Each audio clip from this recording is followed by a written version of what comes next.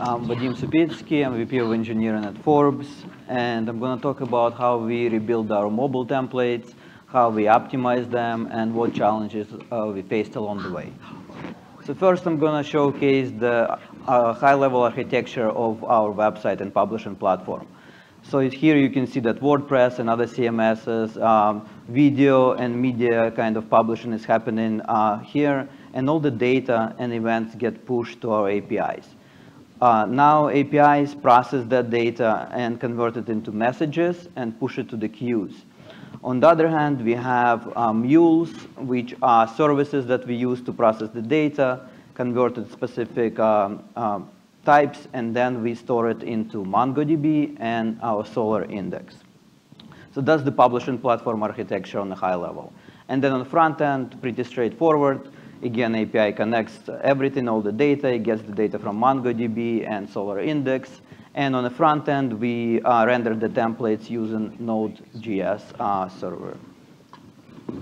What challenges are we facing overall with our mobile templates? Well, we have a lot of them, and we surface them on a lot of diff different platforms.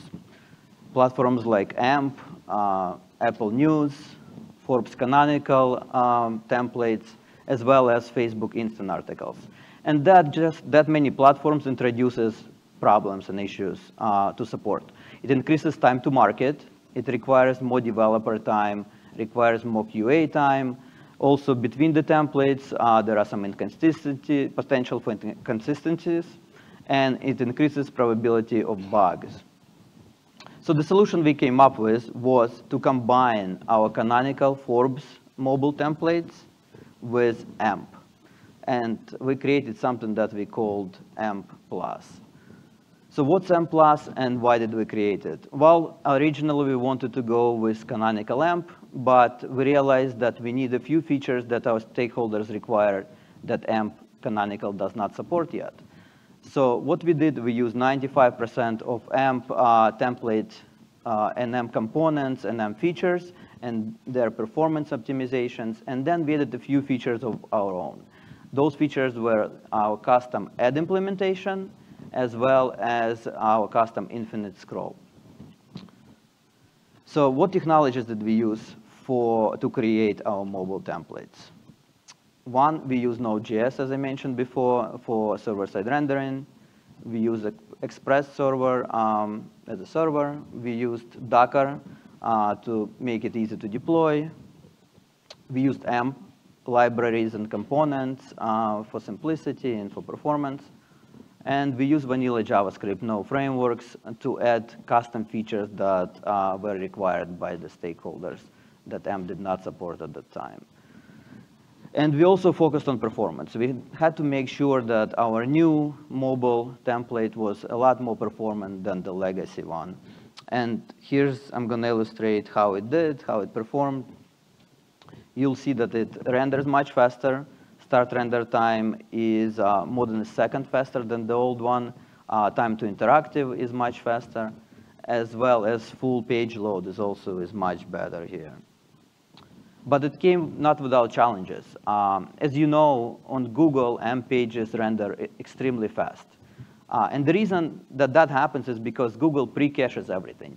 All the critical AMP libraries are pre-cached, all the content, everything is pre-cached. And by the time you go to the actual article page, uh, it's all there, it's instant.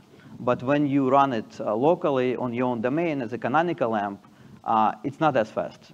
The reason for that is that for AMP page to render, it needs the critical AMP library to be already loaded. Um, and only then, or if uh, eight seconds passes, then it will show up to the user. We couldn't wait that long and we had to optimize it. So what we did, we removed the visibility hidden from the page layout uh, right away. And what it allowed us to, to do is to show the page to the user as soon as it rendered. As soon as the server rendered the page, it was visible. So that optimization was critical for us to, to run AMP canonical or AMP plus uh, on our domain. And here I'm going to showcase the difference between an optimized AMP on your local domain and AMP or AMP Plus with optimizations.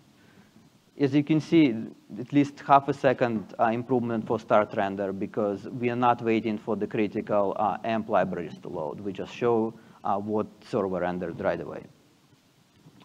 There is more. We, we implemented more optimizations here, and one of them is to preload or prioritize the critical assets on the page, load them as fast as high as possible.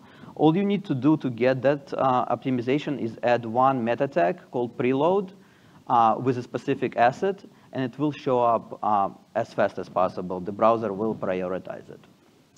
It's a very easy improvement and fast, and, and uh, you'll see a huge difference on your site. So here you can see without preload on my test page, the AMP library loads as number six script. And if I add that uh, and prioritize the script to load faster, the browser, in this case Chrome, will load it as a second uh, highest request on the page, right after the actual page itself. You can do the same with images. For example, if you have a hero image or featured image on, uh, on a page, you should preload it uh, and prioritize it so the user sees it as soon as possible. The same you can do with custom fonts that are critical to, to the user. If you want to render a headline that requires a custom font, preload it. Here's an experiment that I ran. There are two different, basically, pages. Uh, they render three images at the same, one at the same time, and on the other one, I prioritize the third image to load first. I basically tell the browser I want to see the image number three as the first thing on the page. And you'll see that that's exactly what's happening. So you have the power to orchestrate how your page loads. And uh, you can optimize your page load any way you want with minimal uh, dev involvement. You just add a meta tag to the page and it changes how the layout happens. So here you can see a canonical AMP page, non-optimized versus the optimized one. And the only difference here is two meta tags uh, to preload hero image and to preload uh, AMP uh, critical libraries. So you can see that uh, the optimized one loaded much, much faster. Um, and uh, that's about it. Thank you.